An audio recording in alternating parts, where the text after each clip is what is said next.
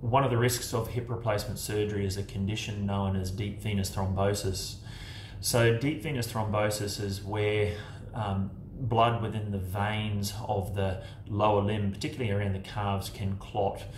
And um, we try to reduce the risk of clotting in the um, veins by a number of measures.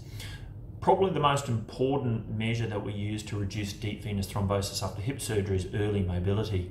So you'll notice that we've been quite keen to be able to get you up and about and mobilising really quickly after surgery. For most people, that's on the day of intervention.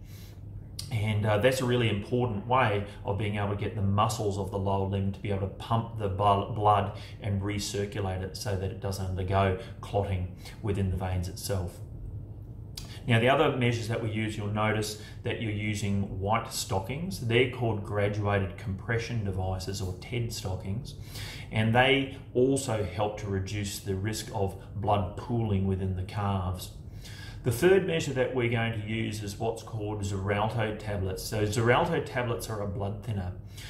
If you're already on a blood thinner, we may just continue using your blood thinner that you're currently on, or alternatively, we may modify the dose or use two blood thinners in combination.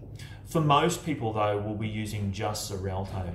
So Xarelto tablets are once per day. They're usually taken in the afternoon. You'll start them shortly after surgery.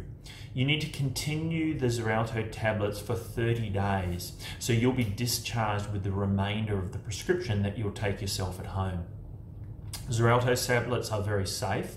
One of the downsides of Xarelto is does increase the risk of bleeding into the wound slightly. So if you get any bleeding of the wound, or alternatively, if the wound becomes um, quite puffy and sore um, and quite bruised quite quickly, um, then please let us know and we might need to modify the dose or alternatively eliminate the use of Xarelto tablets for you.